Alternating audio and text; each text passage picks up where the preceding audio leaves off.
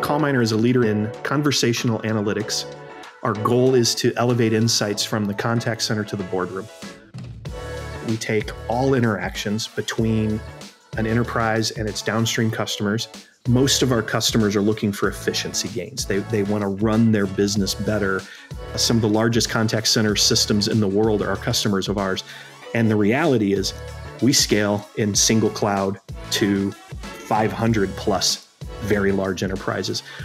We're trying to get information out of tens of thousands, hundreds of thousands, millions of conversations in a way that it's actionable. In 22, we processed well over a trillion and a half conversational words.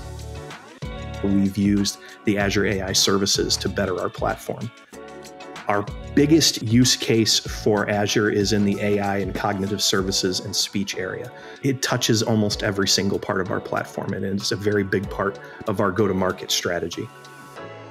We started with AI as a requirement in mind. You're getting the absolute leading edge technology so that you can go after AI with confidence. What's next for our platform? We're going to continue to innovate. Uh, we're going to do that with the certain knowledge that we're partnered with companies like Microsoft so that we have access to that great technology and we can get it to our customers more quickly.